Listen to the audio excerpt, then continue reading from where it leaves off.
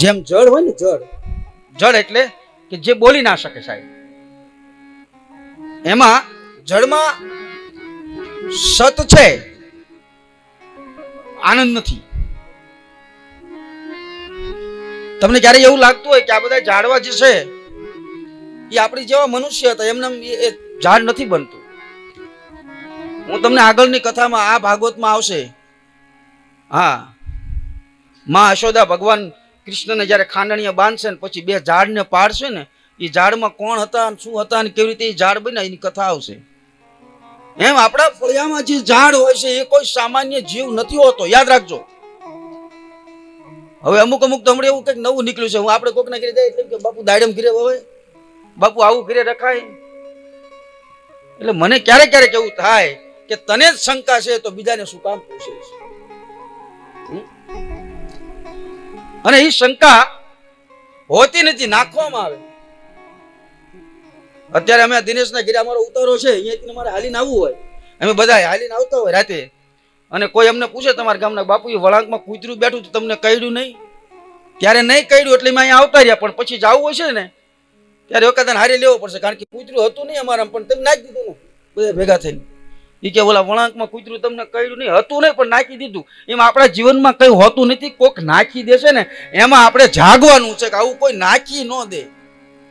આ ઝઘડાજીના છે, તમારા જીવનમાં જે છે નહીં, અને નાખી દેશે સાહેબ.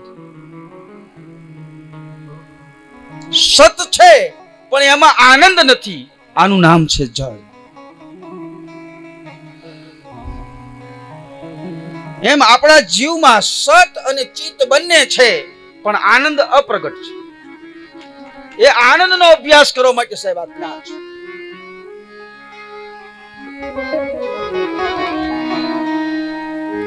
અને જે આનંદ તમારામાં છે, એ આનંદને ગોતવા તમે બહાર જે ડોટ મૂકો છો, આ તમારી મોટી ભૂલ છે. બહાર ક્યાંય તમને આનંદ મળવાનો જ નથી, તમારામાં જ છે આનંદ. અને બહાર ગોતવાથી નથી મળ્યું. તમને એમ થાય કે આપણા લગ્ન થઈ જાય પછી આનંદ? લગ્ન થઈ જાય ને પછી સંતાનો થાય પછી આનંદ? તમે એકવાર મેં તમને સવારે પણ કથામાં કહ્યું હતું કે આ સંસારમાં એવી એક જગ્યા બતાવો કે અહીંયા સુખ હોય. દીકરી નાની હોય, એનો જન્મ થાય. દીકરો નાનો હોય, એનો જન્મ થાય સાહેબ. ત્યારે એને પહેલી ગુલામી મા બાપની હોય છે. આ દીકરીઓ બેઠી છે અહીંયા સાહેબ. એને પૂછો તમે. એને ક્યાંય બહાર ફરવા જવું હોય, એકલા ક્યાંય જવું હોય તો એને નહીં જવા દે. સદા દીકરી મનને રાજી કરે ભલે આને મને અહીંયા આનંદ ન મળે તો કાંઈ નહીં. કાલ મારું વ્યવિચાર થશે ને મને મારો પતિ સારો મળશે તો હું એના સુખે આનંદ ભોગવીશ. એના લગ્ન કરો સાહેબ. બધું જોઈને જ કર્યું હોય છે આપણે. દીકરાને જોવા જઈએ છીએ એ લોકો જોવા આવે છે. જો હું તમને કહું છું ને, પહેલા અને અત્યારમાં આપણે શું ગુમાયું છે? પહેલા તો આપણા પપ્પાના પપ્પા હોય ડાયરામાં બેઠા હોય અને એના દીકરાના દીકરીનું વ્યવસાળ કરી નાખતા. તેથી સાહેબ, આટલા લખડા નહોતા થતા ને આટલા ડખાઈ નહોતા થતા. અત્યારે તો એની માનીનો બાપો ત્રણ વખત જોઈને આવ્યા હોય ને, એ પાછો ભાઈબંધ હોય જૂનો.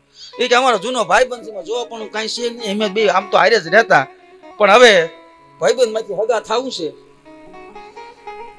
પછી નો હગા ના રહે નો ભાઈબંધ ના રહે કાલ મારા પતિના સુખે જિંદગી જીવીશ. આવા ઓરતા લઈ અને દીકરી લગ્ન કરે છે સાહેબ. લગ્ન થઈ જાય અને એમાંય ભગવાન ન કરે. કોઈને આવી ઘટના ન બને. પણ કોઈ દીકરી ને એનો પતિ જો શંકા વાળો મળી જાય એવી દીકરીઓ છે, એવી એને જેને લગ્ન થયા જેને આવા પતિઓને પૂછજો તમે ક્યારે કેટલી પીડા હોય અંદરથી. નો બિચારી બહાર બેહી શકે નો વાસરીમાં બેહી શકે નો પપ્પાના ઘરે હરખું રહી શકે. જ્યાં જાય ઓલો વાયન વાય આમ ફેન ચડાવીને જોવાય હે ને? બાપ. એ આનંદ આપણે ગોતીએ છીએ જે આનંદની આપણે જરૂર છે. તમને જો ક્યાંય એમ થતું હોય કે સંસારમાં એ આનંદ છે, એટલા માટે વાત કરું છું. તો એ દીકરીની જિંદગી બરબાદ થઈ જાય સાહેબ. પછી દીકરી મનને રાજી કરે કે ભલે મારો પતિ એવો હોય, પણ મારા બાપની આબરૂના ખાતર મારે બીજું ઘર નથી કરવું. ચાહે ગમે થઈ જાય. મારે બીજા લગ્ન નથી કરવા. આની હારે જિંદગી કાઢવી છે. અને દીકરી દુઃખ ને સુખ ને સહન કરતી કરતી દીકરાને મોટા કરે અને એ દીકરા મોટા થઈ જાય. દીકરો મોટો થઈ જાય અને પછી એના લગ્ન કરે અને એની પત્ની આવે અને પછી દીકરો એમ કે હવે બા, મને તમારી ભેગું ફાવતું નથી, મારે નોખું થઈ જવું છે. વિચાર તો કરો સાહેબ, જે વ્યક્તિ એક દીકરી હતી એના પતિના દુઃખને સહન કરતા કરતા એને વીસ વર્ષ કાઢી નાખ્યા હતા. અને વીસ વર્ષના દીકરાને મોટો કરીને જ્યારે પરણાયો અને ત્યારે એનો દીકરો અને વહુ સામે આવી એમ કે હવે મને ભેગું નથી ફાવતું, નોખું તો આવું છે? તેથી દીકરી કેટલું દુઃખ લાગ્યું છે. પહેલા ગુલામી, પતિની ગુલામી. હવે દીકરાની ગુલામી સાહેબ.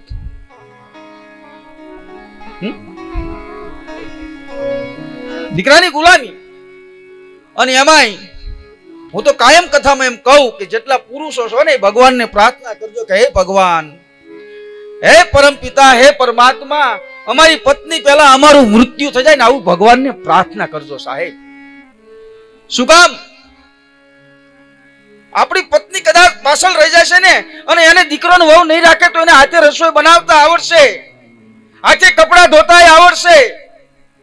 એને બધું હાથે આવડશે. કદાચ આપણે પાછળ રહી જઈશું ને તો ગુલામી સિવાય કઈ નહીં વધે. સાહેબ, આપણને કઈ નથી આવડતું.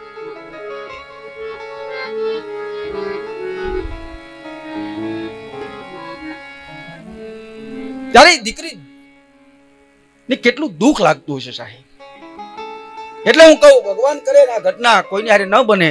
પણ સંસારમાં તો બસ પૈસાથી સુખ નથી સાહેબ. મેં તમને ના પાડી પહેલા સંપત્તિ ગમે એટલી હોય, પણ સંસ્કાર વિનાની સંપત્તિ નકામી છે.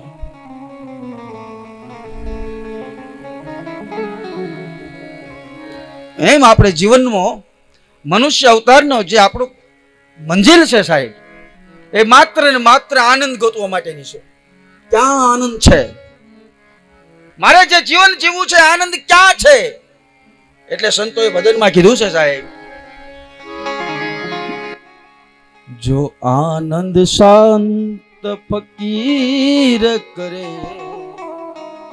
આનંદ સંત ફકીર કરે. આનંદ નાઈ અમીરી में આનંદ સંત ફકીર કરે.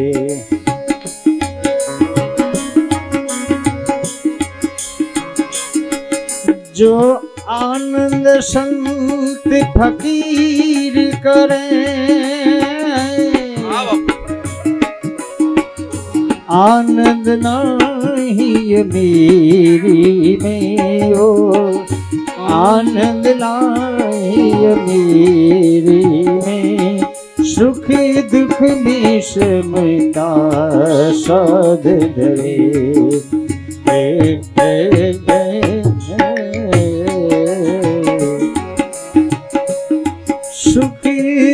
दुख मिता साध धरे कुछ खोप नहीं। ए भी में आनंद संत फकीर करे।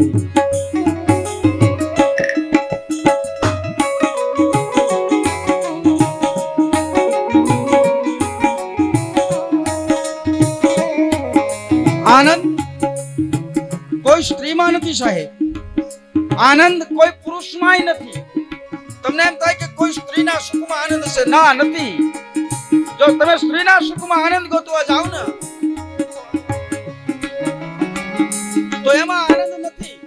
કોઈ સ્ત્રી કોઈ પુરુષમાં જો આનંદ ગોતવા જશે, તો એમાં અહીંયા આનંદ નથી. તમારા શરીરમાં हर કોઈ ધનમાં, કોઈ સોનામાં, કોઈ જમીનમાં ક્યાંય આનંદ નથી. આનંદ છે ક્યાં?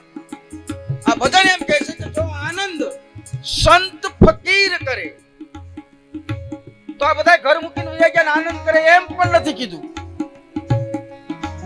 પણ પરમાત્માના રૂપમાં પિતાના સ્વરૂપમાં તમારા રૂપને મિલાવી દો સાહેબ. અને એમાં જ આ આનંદ છે બીજે ક્યાંય નથી. આ બધા સંતો મહાપુરુષોએ પરમાત્માના રૂપમાં સ્વરૂપને મિલાવી દીધું છે સાહેબ. એને આનંદ કર્યો છે એને બીજે કઈ આનંદ ગોત્યોય નથી. પરમાત્માની સાથે એક રૂપ બની જાઓ. એટલે આનંદ છે સાહેબ. પરમ પિતાની સાથે એક રૂપ બની જાઓ આનંદ છે. પણ મંદિરમાં જઈએ ને, તો જીવ તો જોડામાં હોય અને મન મંદિરમાં હોય તો આનંદ નથી થાય.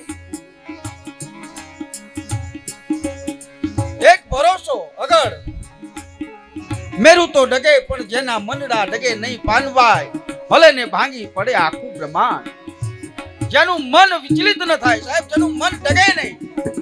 જ્યાં આપણા મહાપુરુષો, જ્યાં આપણા સદગુરુએ મનને સાહેબ આપણને આમ રાખી દીધો છે, ત્યાંથી જ્યારે મારું તમારું મન ડગે નહીં, ત્યારે તમને આનંદનો અભ્યાસ થશે કે આ જગતમાં આનંદ કહેવાય કોને? બાકી તો એવા લાખો ને કરોડો રૂપિયા મારા તમારા ખિસ્સામાંથી આવીને વયા ગયા. કોઈ આનંદ નથી આવ્યો. અને હું તો એમ પણ કહી શકું કે તમારા પિતાજીને તમારી માને પૂછી જોજો કે તમને એક તમારો જન્મ થાય અહીંયાથી, તમારા લગ્ન થાય ત્યાં સુધી લોકો કેટલું રેડ્યા હશે કેટલું ઈ કમાણા હશે. આ બધું એમનામ નથી થતું. સદા એમને આમાં આનંદ મળ્યો નથી, સંતાનને પ્રણાવમાં આનંદ નથી. દીકરાની વહુ ઘરમાં આવે તોય આનંદ નથી. પોતાનો લગ્ન થાય તોય આનંદ નથી. ક્યાંય આનંદ છે જ નહીં સાહેબ. આનંદ એક જગ્યાએ છે કે જ્યાં પરમાત્માની સાથે એક રૂપ બની જાઓ તો આનંદ છે.